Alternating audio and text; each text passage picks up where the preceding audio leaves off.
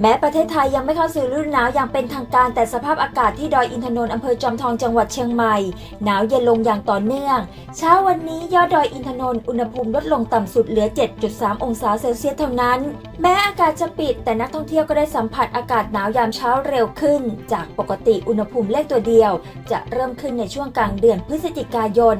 ทำให้ตลอดทั้งสัปดาห์นี้ยังคงมีนักท่องเที่ยวเดินทางเข้าสู่พื้นที่อุทยานแห่งชาติดอยอินทนนท์เพื่อสัมผัสกับธรรมชาติกันอย่างต่อเนื่อง ล่าสุดวันนี้มีนักท่องเที่ยวเกือบ 2,700 คน ขณะที่ทางอุทยานระบุพร้อมเปิดเส้นทางธรรมชาติกิ่วแม่ปานอีกครั้ง ในวันที่ 1 พฤศจิกายนนี้ หลังปิดพื้นที่เพื่อให้ธรรมชาติได้ฟื้นตัว ตลอดช่วงฤดูฝนที่ผ่านมา